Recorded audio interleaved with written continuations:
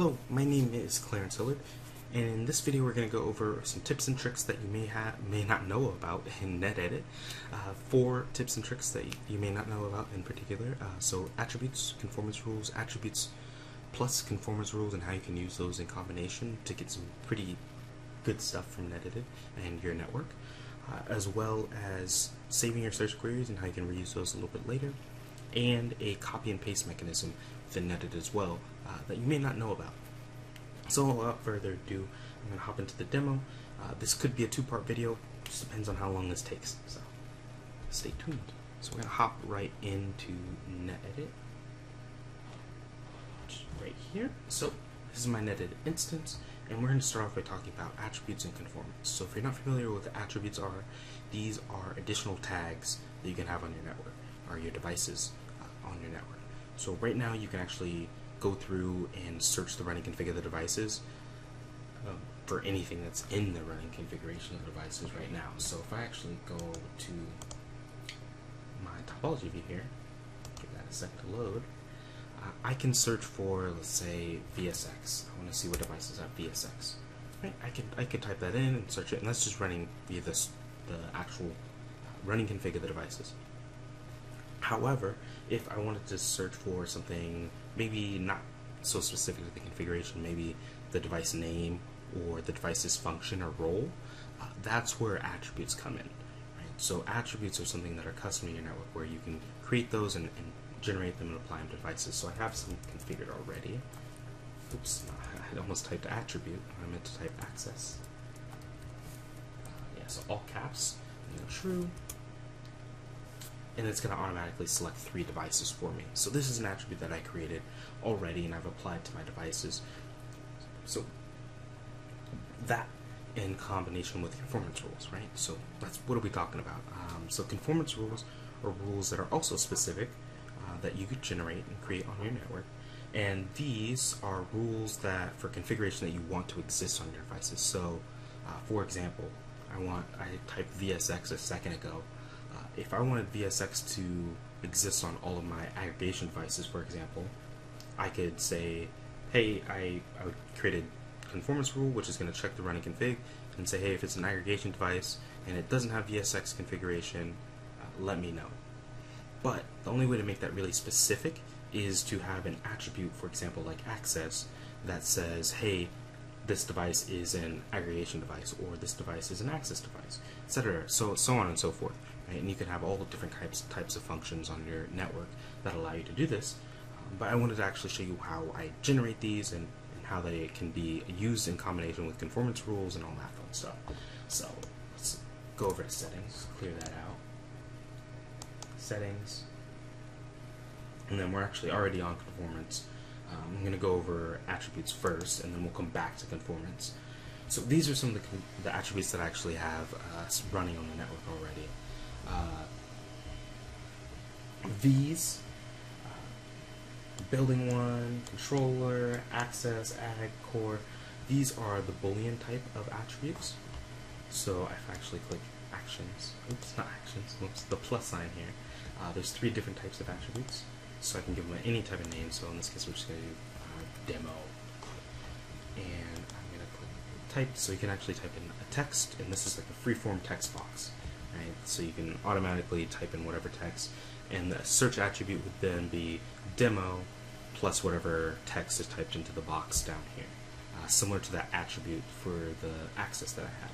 Right? So I can also do this uh, for a list, and have a comma separated list, and that would then generate a drop down where you can apply different attributes based on a drop down menu. And then the last one, which is Boolean, which is just true false. Right? So whatever my, my name is, it's going to be that name followed by whatever the value is. Right? So that's attributes in a nutshell. And you can apply them to devices, all that fun stuff. So we're going to cancel that. And I'm going to go over to, where is my validation? There we go. So validation. So conformance rules, I said, these are rules that are set on your network um, and they are applied based on the running configuration of those devices. Whereas attributes are decoupled from that, that running config of the device. It's just connected to the device and it's locally specific to NetEdit. That's the big difference between these. But conformance rules checks the actual running configuration of devices. So I've already created some, so I've created a QoS policy. So here in my QoS policy, you can see it's kind of complicated, and we're going to go over that in a second here. But you can also see I have a device filter for this as well. So what I can do with this device filter is I can use those attributes that I just generated. So if I want to say, okay, access, true, and uh, whatever. I don't know what else I'd put in there for this case, for this example. But I could say, and maybe the name of the device uh, is, you know, building asterisk, uh, because the search queries work on, they work on regex. They use word regex for them, so I'm just throwing asterisk, so it's a wildcard. So I'm saying, hey, if it's access true and the name happens to be building anything, uh, apply this conformance rule. And I can click OK on that if, I, I'm okay with that. Right, so that's kind of the combination of using conformance rules in, in combination with that attribute as well. And that's really, really handy and powerful because now I can say, okay, all my access switches, you now should have this configuration, or maybe it's a QoS policy, maybe it's something else, etc., uh, etc. Et so you can get really, really crazy with this, and it's very powerful. Now, for the next part of this is the actual conformance rule. So this conformance rule is checking the running config of the access devices with this attribute and the name of building asterisk and saying, okay, do you have a QoS profile called test and the QoS schedule profile of test? Okay, if you do, it should have this policy below. Right? And you might be looking and saying, okay, I have ACLs that are a thousand lines, etc., etc. Uh, this could be complicated and cumbersome for me to do this within then and must exist. Uh, so how would I how would I actually go about doing that? And so what I did is I actually created an Excel sheet that goes through how to. Uh, so when anything in a conformance rule falls within an interface configuration or within a subcontext, you're always going to need this within whatever that subcontext is, and then whatever you want to do underneath that subcontext. So what I've done is I've actually generated an Excel sheet that automatically does this for you. So you can see any of the configuration up here is global config, uh, so I don't need to put any parameters like this. And you can get all the parameters for how to create conformance rules, and I think there's a video as well on specifically on conformance rules, so I don't want to get too in depth with it here. Uh, but there's a way to make this a little bit quicker. And the way I've done that is I'm going to bring this Excel sheet over.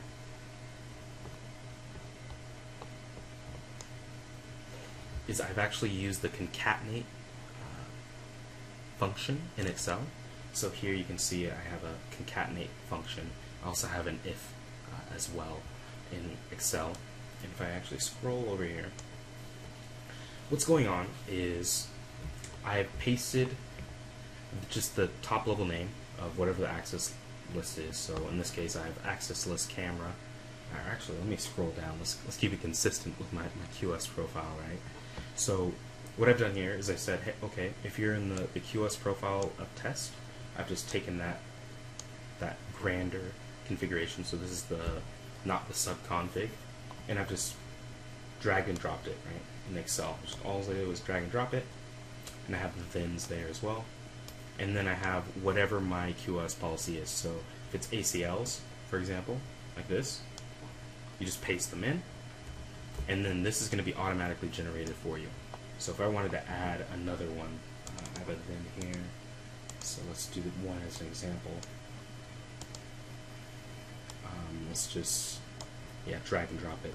You can see it automatically generated that for me as well. Oops. So it says within this QoS policy, this, this, and this must exist. And then all you have to do from now uh, is just come over here, Control C it, and then you drag and drop it in. Oops, have to move it all the way over. And then you would just copy and paste that into here uh, if you wanted to. So I'm gonna grab a new line, and then you paste it in. Boom, you're done. Uh, pretty simple. And I'll have this Excel sheet. I'll probably post it on Airheads uh, because on YouTube you can't uh, post a document. So I'll post it on Airheads and then you, with, along with a link to the video, and you can actually download this and use this for your own network as well. Um, I'm going to backspace that out. So the two things I just showed you, right? So your your access attributes or your attributes in general, uh, you can use them in combination with your conformance rules. And then also it's very very powerful to have your conformance rules be applied and generated for your ACLs. Right. So let's say you needed to update an ACL in the future, add an ACE to it. Um, you could use this conformance rule to then tell you, okay, this particular building is missing maybe two or three lines or something along those lines, right? Uh, so you can get very, very granular with this. And if I'm cool with this, I can click OK. But that's one tip, or two tips and tricks uh, in one uh, big, grander business uh, conversation for what you how you want to use NetEdit. So the next one is saving your search queries, right? So I just said uh, I just had some search queries up here. So I had the access attribute that I had. But let's say I was going to do an upgrade for my buildings. I only have a few buildings here, right? Uh, but if I was going to do an upgrade path, I would want to say, okay, upgrade my access devices, then my ag, and then my core. So how would I do that? And one way to do this is to manually select them every single time, but not everyone has uh, like 10 switches or how many I have here. Uh, lots, lots of customers have 200, 300 switches, and you want to save your search queries. You don't have to type it out every single time. So you can do that by doing this. You can do access, true, and oops, gotta be all caps. Building zero one, and then we're gonna do uh, asterisk. Right. So we have two devices that are matching that search query. So what I'm to do is I'm actually to click this plus symbol right here. And what this is going to do is now save the search query. So I'm going to say, call it upgrade path. Oh, I already have it typed in. So upgrade pattern. I'm going to click save. Oh, oh I think because I already have it. I already have one saved like that. So let's let's type it. Upgrade pattern, uh, building, zero one, building zero one. Let's go access that. Save. So now I've saved that search query. So whenever I actually come down, I can actually clear this out. Clear that out. I can actually come over here, and I can see saved queries right here. And I can scroll down, and there's my other upgrade pattern. So I actually did in the, the topology before. Uh, but here, I can actually click on that. And what that's going to do is it's going to populate it already, right? So then I don't have to remember whatever, you know, the, the upgrade pattern is, or maybe you want to do the upgrade pattern of, you know, building one, X2, etc., etc., etc. but you can also use these to, for your tiles as well. So you can say, okay, access true, building one, and then you can get a little bit more crazy and say, okay, and uh, firmware version, firmware modified, when, right? When was the last time these devices were modified? So it's really, really good for reporting and getting pretty crazy uh, and more specific uh, with NetEdit. So another great tip is always to save those search queries. Uh, this is one of the most useful ones I've found, but I'm sure there's more uh, useful ones as well out there. Uh, but this is one of the ones that I use every single day. but always save your search queries if it's something you're going to be redoing and, and typing in quite often. Go ahead and save that. And lastly, copy paste. So within NetEdit, there's a couple of ways you can just copy and paste configuration, right? So you have the, so I'm going to select this device here. You have the deploy solution, and then the add remove configuration. And you can just take, let's say you had a notepad file with some config that you already knew what the config was going to be, you could just paste that in here, right? pretty simply. So I'm just going to do, like, for example, if I want to do router OSPF 1, or maybe, uh, for example, I think a better example would be something like a VLAN, right? I want to add a new VLAN for whatever reason. Uh, so VLAN 1000, I could, I could just paste in VLAN 1000, maybe interface VLAN 1000, and, and push that out to a device. Or I could select multiple devices and push out a bunch of configuration, and this is just going to take that config and push it out. Right? So that's that's one way people are pasting configuration in there, and all I did was click preview on this, uh, so you can see it. That's one way people are pasting configuration in, and that works. But another way you can do this is if I actually cancel this out. So let's say, uh, let's say my, my building 3 and my building 2 were going to be they're going to be combined and they're going to be used as an aggregation switch. So what I can do is I can actually grab this device, edit configuration. He's essentially blank right now. He doesn't have very much config. And I can click this copy icon up here. And I can choose other devices running configuration. And I'm going to find my 8320. I think it's this guy. I'm going to grab his configuration. And what this is going to do, I'm going to click OK is it's going to actually grab the configuration of that other 8320 and paste it into this building 3's device configuration.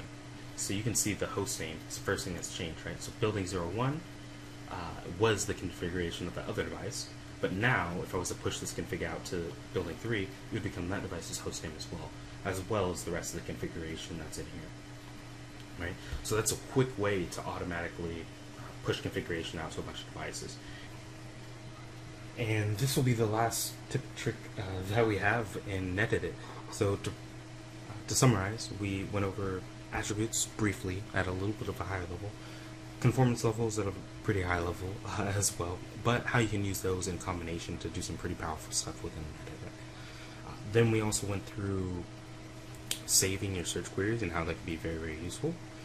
And then lastly, we went over the copy and paste.